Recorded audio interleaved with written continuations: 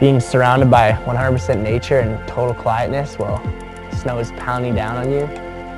Um, it's just a different feeling. You don't really get that too many places and uh, we're lucky to live here. There's so many different kinds of snow. It's one of the most beautiful things on earth.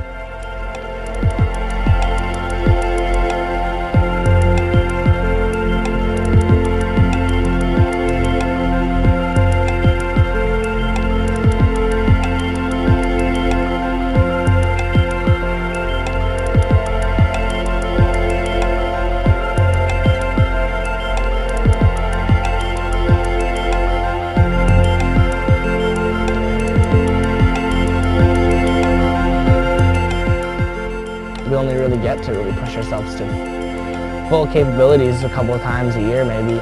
Just being ready for that and training every day. I think that has to do with a lot of uh, gnarly skiing and lines, just being really comfortable on your skis and being able to be on your skis in any situation.